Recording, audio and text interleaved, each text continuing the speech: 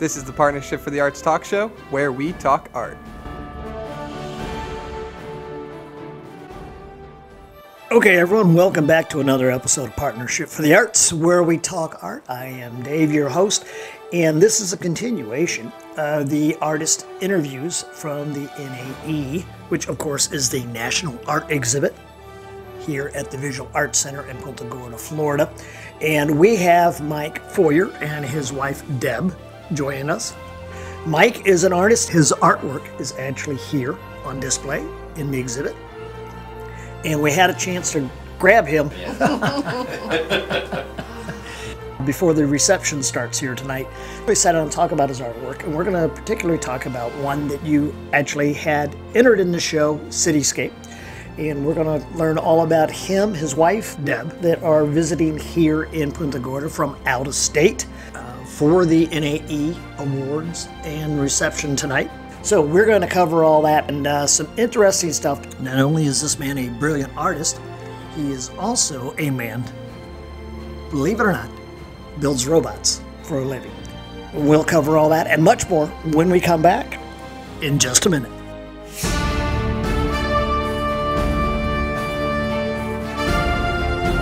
This is Partnership for the Arts. Come join us. As we explore the worlds of art. You can find us on our Facebook page at Partnership for the Arts Group Talk Show. Or you can find us on our new website at pftatalkshow.org. PFTA Talk Show is recorded at the Visual Arts Center in Punta Gorda, Florida.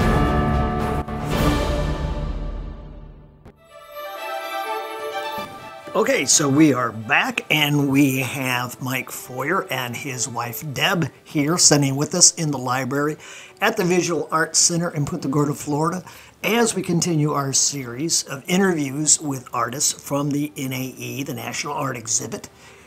Mike, Deb, welcome to the show. Thank you. Thank you very much. Yeah. It's a pleasure to be here. Yeah, now we actually had a chance to meet.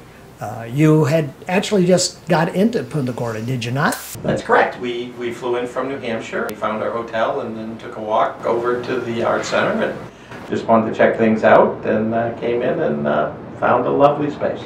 Yeah, yeah, and you had a chance to go around Punta Gorda. We were talking uh, before the show. You got a chance to check out the Wyvern and FM Dons. Yes. Yeah, yeah, good, good, and good weather for that. Yes, excellent. It's not eight below, isn't that what you told me? It's going to be a blow, when we go back to New Hampshire tomorrow. Yep. And uh, it was 85 and sunny. We went to Sanibel Island and stuck our toes in the sand and Deb found some shells and uh, things every New Hampshire person should be doing in February. Well, going to Sanibel, I can't take it personal. We rescheduled the show. It's sad. I understand. it's a beautiful place. Of course, you have an entry in the NAE Cityscape.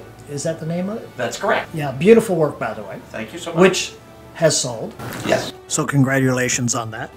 It's very exciting. Uh, just had landed in uh, in Orlando, and I got a call from Jill, and she told me that it sold on, uh, I guess, their special opening uh, uh, reception. So, so obviously, as an artist, that's a very thrilling thing. Right, and who you're referring to when you say Jill, that's Jill Lindsay. She is co chair of the NAE uh, exhibit this year, which we had a chance to sit down with her, Mary Harbor, when we did the interview with the uh, judge, Don Emerson, last episode. And the event you were referring to was the uh, the VIP special event. I know the uh, the buyers that, that came in and walked around, and it was probably about a minute and a half, and they went straight over there. Yeah. So, congratulations on that too. Thank you so much. My uh, my children are in mourning. They love the painting as well. Oh. so are they going, Dad, when you paint me another one? Yes. there are already orders in. Yeah. Okay, as I had mentioned on the intro, you don't paint full time. You actually have a whole nother career, another job. That's correct. I founded and I run a robotic company in Hampton, New Hampshire, um, Mikrolar Robotics, and we're 15 geeks in a room building robots for companies like NASA and Draper Labs and Boeing, and um, that's what we do all day long. And so painting is what I do when I'm not building robots. Wow. It's his Wow. getaway, his his stress relief. Stress relief. A long, long time ago, I was supposed to be Picasso, and uh, my parents weren't terribly thrilled with the idea of a painter in the family, and so my I, I told you go get a real job. Yeah. Yeah. My mom um, signed me up for tech school while I was. Uh, Your mom signed you up. I was up. I was unloading trucks for the That's where summer to go to uh, Rhode Island School of Design, and I got a notice in the mail that said I was accepted to the New Hampshire Vocational Tech School, and and I was like, "Don't you have to apply to a school?" And my mother said, you know, if you go to if you go to the tech school and you don't like it after a year, then um, you know we'll pay for you to go to art school. Well, she was smarter than me, and At the tech um, they paid me a lot more in summer work than I ever got paid being an artist. and so, and then we got jobs and life happened. But um, you know, I've pretty much been doing fine art my whole life when I'm not doing engineering. And I understand there was another benefit to going to that tech school. You want to elaborate on that? She was one of three girls in the tech school. My mother signed me up, kind of signed me up. Wow, meant to be. Except to I, be. I had to take the test to get in though. I just He got skipped it somehow. And, you know, obviously, mechanical engineering has been very good to me, so we, we've done fine. And then, you know, like I said, especially as our kids grew and stuff like that, I've always done fine art. And whether it be pastels or oils or watercolors or acrylics, is, it's been a continuous part of my life. Is that a studio at home? It is, um, actually, uh, the kids are gone, and so the downstairs area where the children's bedrooms are, and there's a living space, has been converted into my big, large studio. And the art cave. the art, The arcade. and I, uh, I, I essentially watch, you know, usually pro sports and paint at the same time. Or, Interesting. or have, you know, I might have classical music on, or I might have, you know, I might have a podcast playing. Right? Well, you know, podcasts, especially about art, is always good to listen to.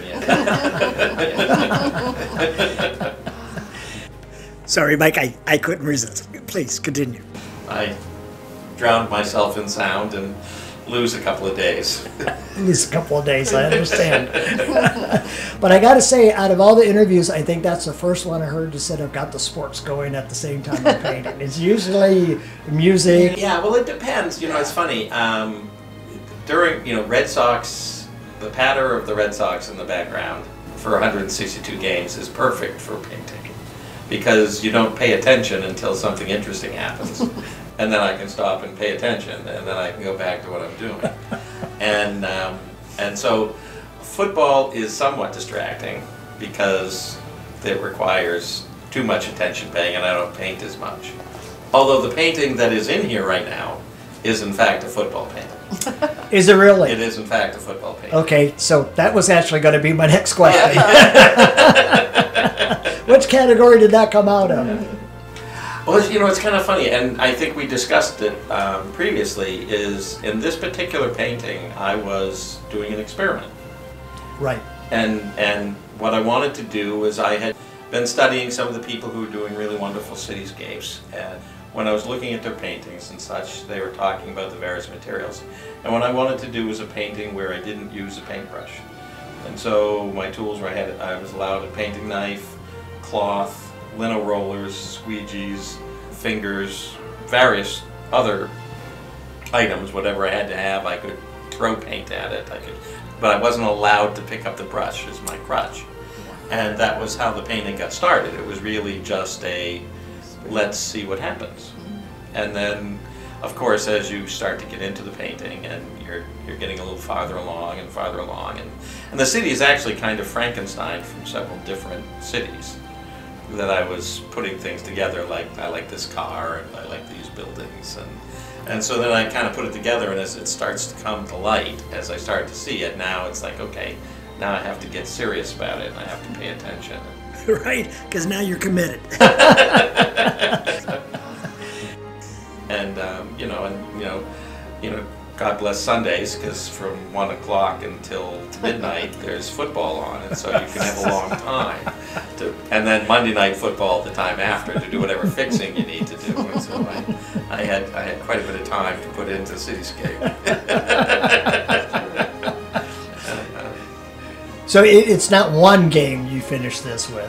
No, this is probably about two or three games worth of effort. And, and actually, I also paint on Thursday nights, and uh, there's Thursday night football, of course. and uh, and so it was probably it was probably a Sunday, a Monday, a Thursday, and another Sunday. Not many artists can say, it was these days I did this creation. exactly. Well, you know, it, what's what's interesting about my my weekly routines is that usually I'm working out when I'm going to paint on those days on the other days. okay.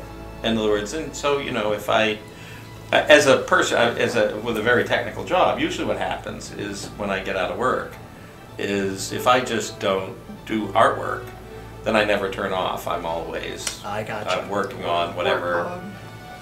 we've got. And so whether I pick up my sketch pad and, and work on some compositions or the next painting or whatever, that's really how I stop doing robots.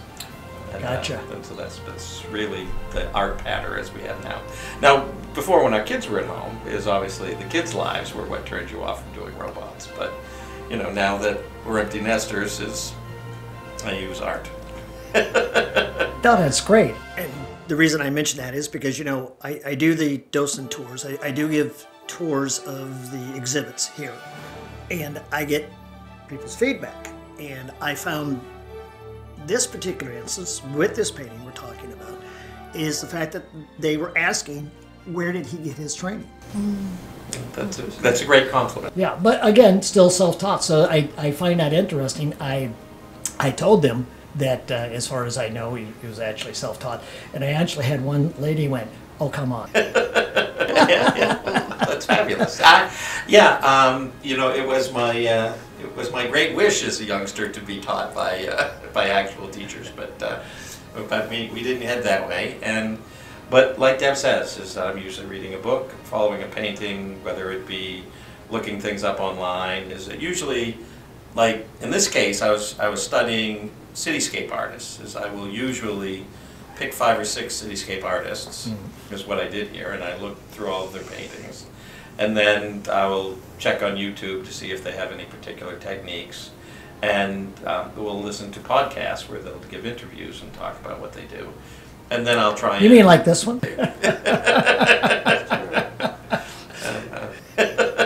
like this, exactly like this. Yeah, yeah. And then um, when that's done, is I'll actually say, okay, this particular night is going to be that painting, and I'll sketch out what I wanted to do, and then sit down and organize it and give it a try. And some things are successful, and some things take me a couple of tries.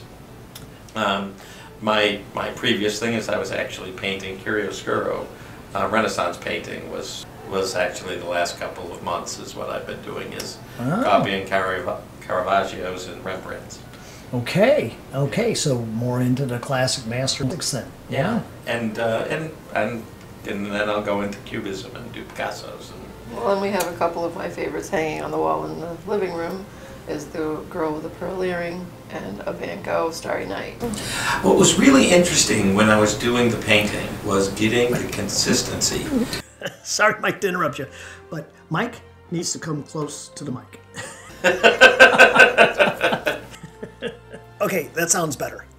Continue. The um, was getting the consistency to what I needed. In other words, what was interesting was the the thickness and um, the viscosity of of his colors and stuff like that, and getting them to be just right, so that you get the buttery thickness Yes. that you get from Van Gogh. And, and before I got to the point where I did that painting, I had to do quite a bit of practice to get that paint just so that it was just so. Because, mm-hmm. you know, he obviously makes his own paints and he makes mm-hmm. them at a time before, you know, you could just go buy a tube. Right. Okay, and so what he what he constructed and what he did was very different than the paints that you find today. And so it was, it was really interesting to actually get to that Point. point before you could start. And, hmm. you know, and similar when I did Rembrandt, is you have to, you have to work on figuring out how to get the, the level of thickness that he gets, especially in his